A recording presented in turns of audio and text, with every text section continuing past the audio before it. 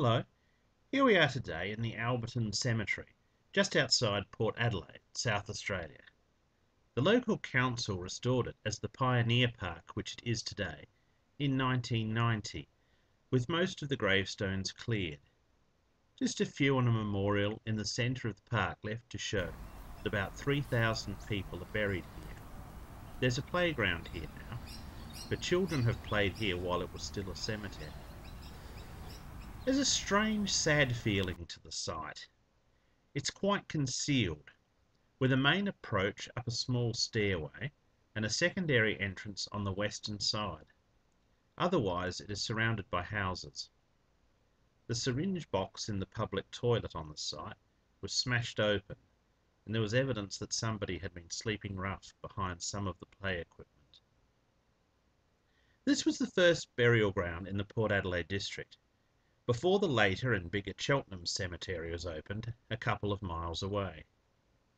Four acres of land was donated in November 1847, when it was surrounded on three sides by salt swamp.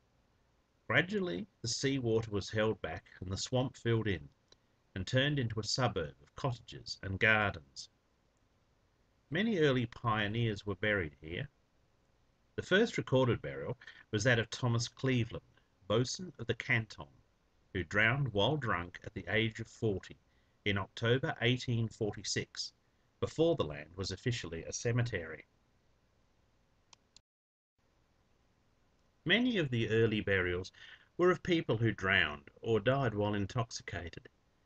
The seventh burial was of a William Buist, a 22 year old seaman of the Princess Royal, who died in a drunken riot and a fray with the police in June of 1848. There was once a Church of England rectory adjoining the cemetery. The cemetery was closed for new leases in January 1874, although existing leases still received burials for many years after. The signs at the cemetery here say the last burial was in 1930, but they're inaccurate. The last burial was that of Miss Mary Ann Moore of Glenelg, buried on March 16, 1942 the church transferred control of the cemetery to the Port Adelaide Council in 1936.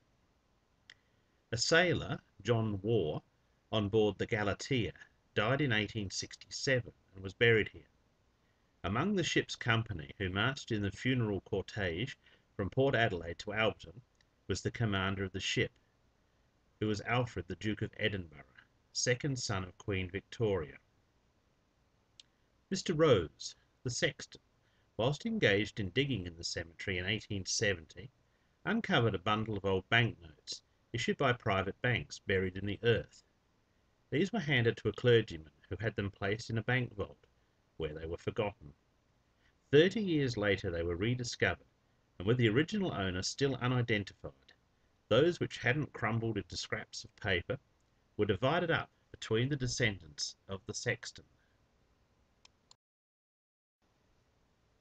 In November 1888 a fire consumed one and a half acres of tall grass in the cemetery, also destroying a grave and the fence surrounding it before neighbours beat it out, while in March 1911 another fire began in the long grass, which caused damage to fences and tombstones, before the Port Adelaide Fire Brigade were able to extinguish it.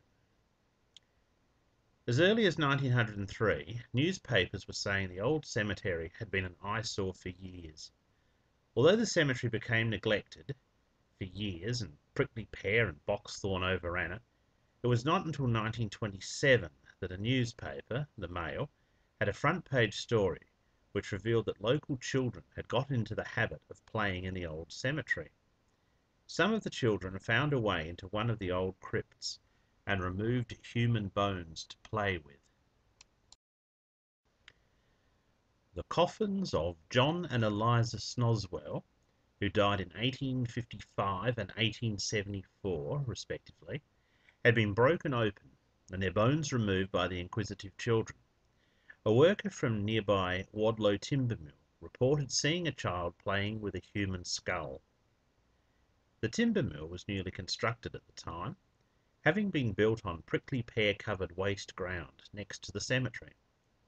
Within the confines of the cacti, local men had formerly found hidden pathways through to a clearing in the midst of the thorny bushes, where they could spend time gambling, away from the prying eyes of the law.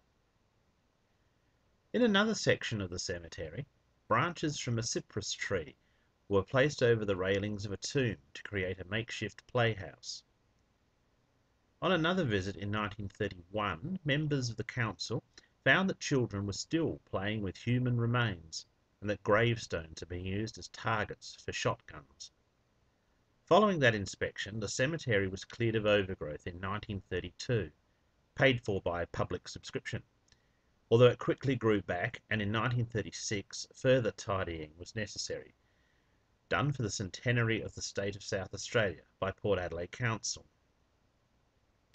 After the council took control of the cemetery in 1936, it was again in a bad state. By 1939, only 25% of the gravestones were legible, and only half a dozen graves were maintained by relatives of the deceased. While most of the gravestones were neglected, many broken into fragments, there was one grave without a headstone, which in 1927 was being cared for behind a white picket fence. A woman in black would visit the cemetery twice a week to place flowers upon the grave, it is believed of her family members. The gravestone of the MacDonald family was described as having a roof over the top to keep the weather off and iron bars to protect it from other intrusion. It's gone now, but a plaque exists with some of the same information in a corner of the cemetery, relating the link between the MacDonald family and the Battle of Culloden, where the forces of King George crushed the Highlanders attempting to restore the Stuarts to the throne. Neglected for decades and now hidden away, many people aren't even aware that Alberton Pioneer Park exists, still forgotten in the dark corners of history.